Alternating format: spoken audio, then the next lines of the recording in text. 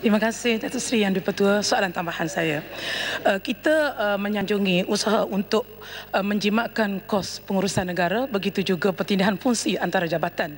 Tetapi masih wujud di antara dalam pentadbiran negara kita pertindahan fungsi ini. Contoh di sistem pendidikan prasekolah ada di bawah Kementerian Luar Bandar, ada di bawah Kementerian Pendidikan, ada di bawah Permata Negara. Dan sudah tentu ini menyebabkan kos yang semakin bertambah. Begitu juga projek-projek yang lambat siap menyebabkan kos bertambah. Apa strategi uh, Kementerian kementerian uh, untuk mengatasi perkara ini supaya tidak berlaku yang boleh menyebabkan wang negara kita berbelanja lebih daripada yang sepatutnya. Minta penjelasan.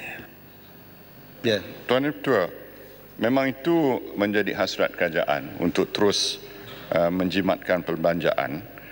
Uh, sebab tu kita memperkenalkan uh, strategi NBOS. Kerana melalui NBOS dalam pelaksanaan UTC saja kita telah menjimatkan uh, perbelanjaan sebanyak lebih kurang uh, 2 bilion ringgit. Sebab kalau kita nak buat satu pusat baru dengan bangunannya sendiri, kita perlu 150 juta lebih kurang. Tetapi sebuah UTC dapat disiapkan dengan perbelanjaan hanya dalam lingkungan 35 juta sahaja pukul rata.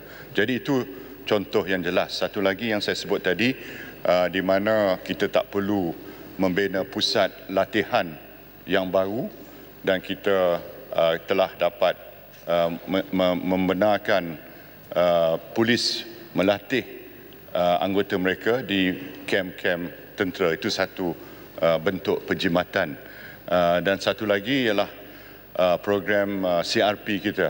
Uh, di mana melalui program ini banduan-banduan yang tidak uh, terlibat dalam uh, kategori Uh, sebagai hardcore uh, kriminal ataupun penjenayah berat uh, boleh diberi latihan vocational termasuk latihan dalam bidang pertanian mereka dapat pendapatan dan samping itu mereka ditempatkan di kawasan-kawasan yang dikawal tapi bukan di penjara dan nanti kata kita tak perlu membangunkan ataupun mendirikan penjara-penjara yang baru. Jadi banyak contoh yang berhormat di mana kita telah pun menjimat perbelanjaan kerajaan.